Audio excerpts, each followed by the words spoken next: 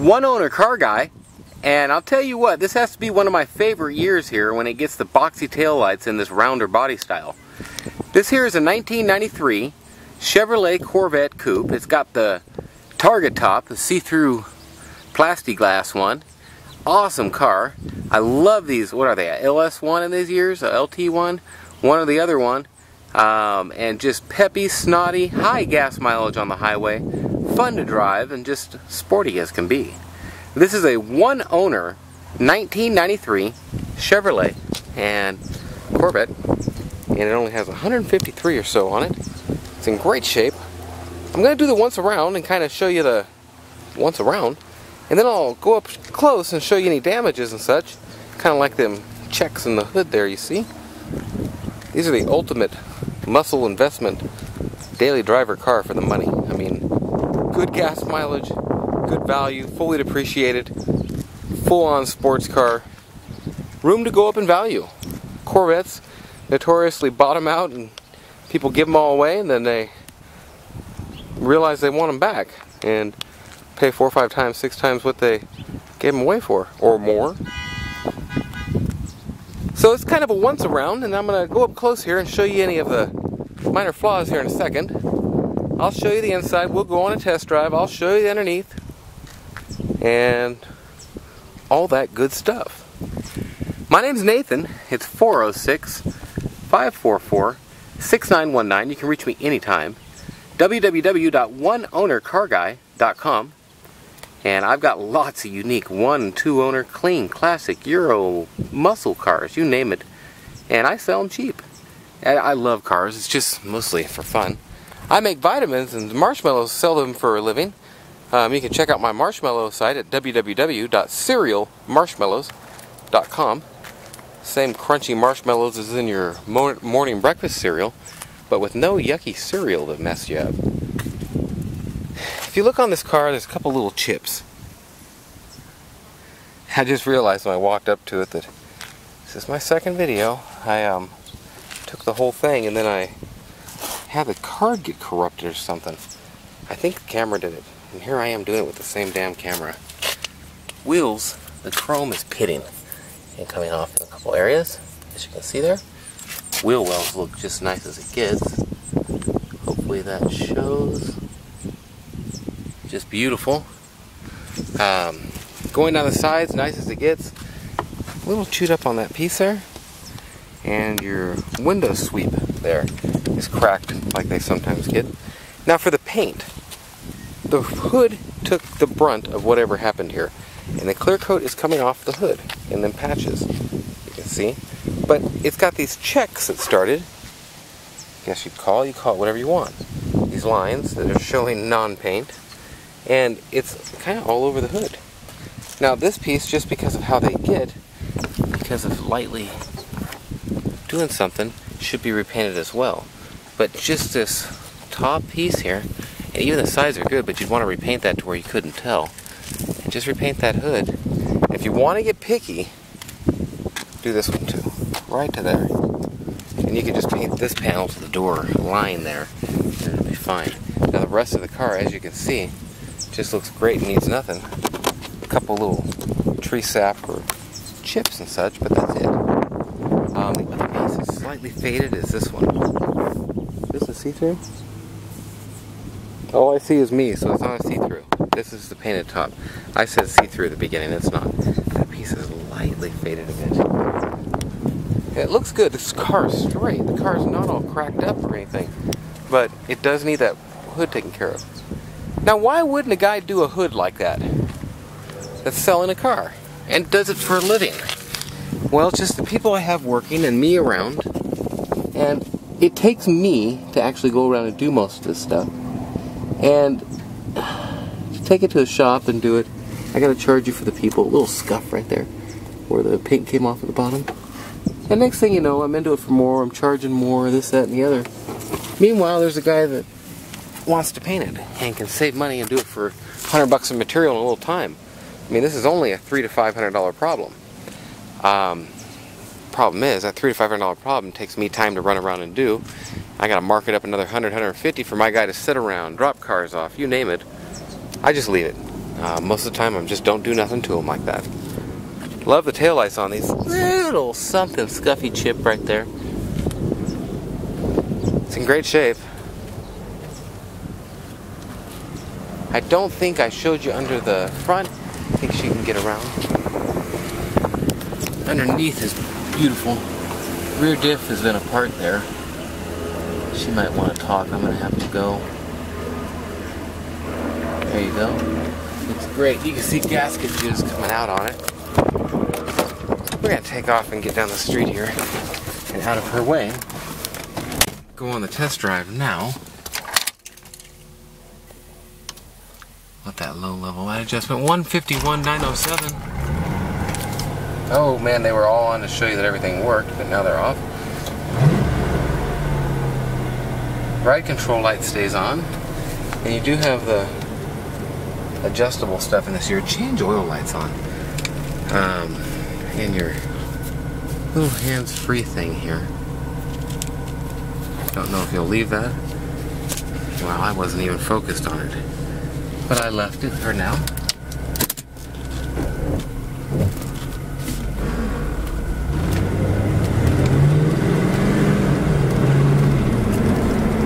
Right up to 32, 33 like it ain't no thing.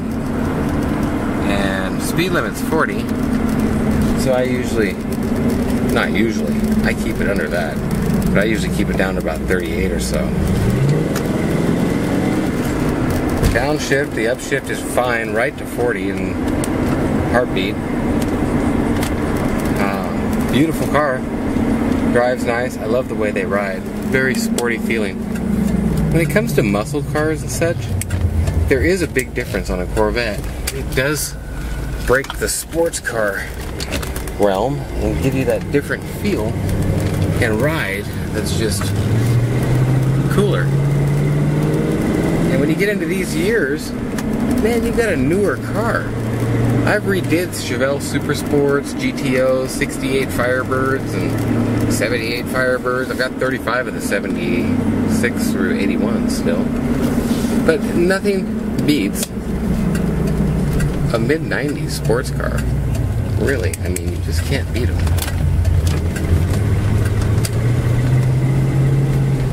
Uh, 420 SEL coming up there, actually. Oh, there's the back of my dad's bull shipper. You can see the stacks on it. SL coming up. Buick Wagon, or uh, Volkswagen I just passed. That's going to be for sale. My mom's Mercedes. We've got her a new car now, and she's going to be selling that one. Okay, that right there.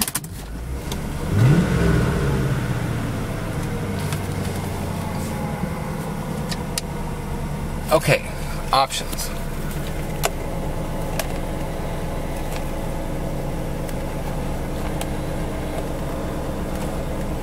Works.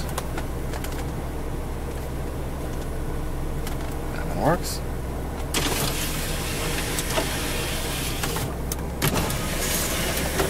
Windows work. You got all kinds of fuel info you can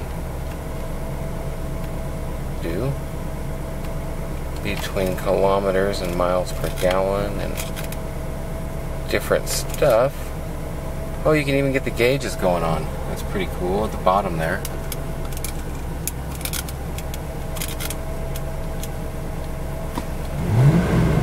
Ah, pretty cool. Voltage. And the stereo works great. Let's see this.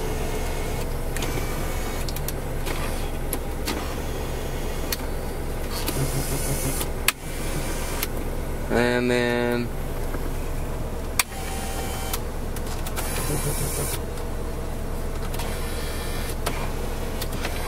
I think that's every way. Then mine, or yours, forward, backward,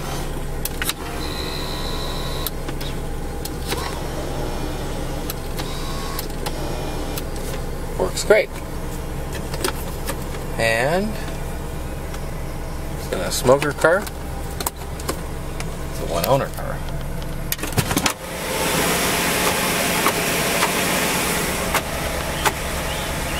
Try and open that door.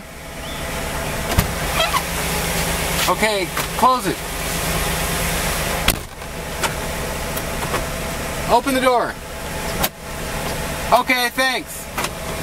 You see it's a little slow? You hit it twice and it locks. needs to be lubed. Or if you hold it, it does it. If not, it, you see they're already working better. Boom. So that's that. Ooh. I wish I'd have known where the ASR traction control button was. I would have turned that off. Then we could have had a real test drive. Okay, gonna pop the hood here. Now, the car is just clean as can be. And like I say, your tour ride, sport ride, performance ride is all there. Um, oh yeah, there you go.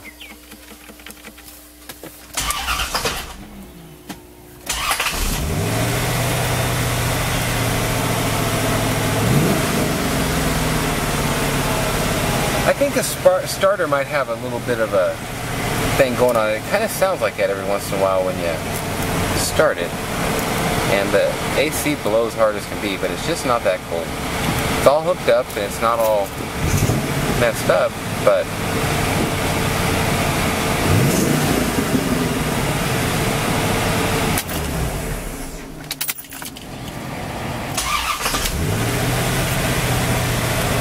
beautiful. Try the horn, but I don't want to do it with my with people in the house. I think somebody might be taking a nap. Door panels are in great shape. Seats are in great shape. That low level light adjustment hit. And you can see right here a small tear on the crease and a little bit of wear on this lumbar support. Now I could get this replaced if you wanted cheaply, um, but I'm just selling it like it is, like I say. Pedals are in great shape, no wear. Little wear on that carpet right there, little hole where your foot would sit. Uh, emergency brake and all. Leaning part of the seat works.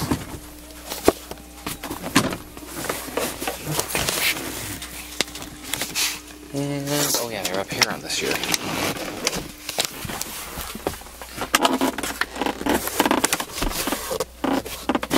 Rear hatch there storage and such. Is this one open? I don't know on this here. I'm going to say no. Although it seems like it does. It's hinged. Oh, that one's tied down. That's your battery. Okay, it's bolted in. No, it's not your battery. Is a computer in there? Huh. Okay, does this button work? Not without the key on. Does it work with the key on?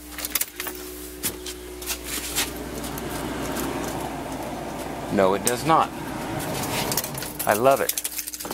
Show you the stuff that doesn't work and you can see it all.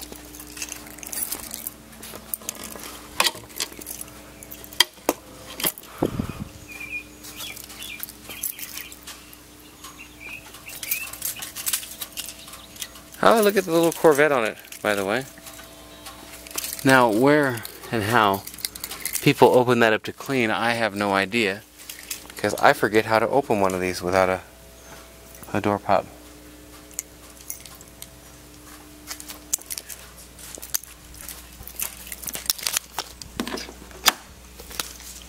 I locked myself out because I was showing you the lock. There we go. Can you open it? It's in the center. It's in the center? Mm -hmm. Well, that worked perfectly. I guess that would be how. And this is supposed to be a hatch button. It says on it, but at the same time, oh, this is a little loose, by the way. It needs a screw right there, but the screw ends are kind of broken on it. Great shape. Um, had a note here about this button. Be sure to push this button after removing keys to turn off power or battery will drain.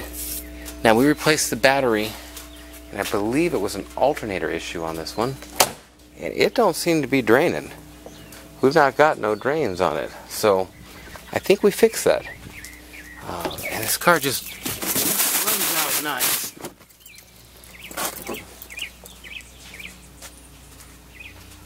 And a little split in that piece. Seals are all good around it. Looks great. Door panel on this side, great condition. Seat on this side, you don't have a couple little tears like you did on the other side. Simply because it's used less. Um, old school phone, baby. Diamond Tel. You got more watts going down the road in that phone than you do in your stereo, maybe. I don't know. Clean car, tight car. It almost opens by itself, as they should with the proper struttage under them. Struttage! Struttage.com. Huh. Better buy that. Mobil 1 synthetic motor oil. Factory fill.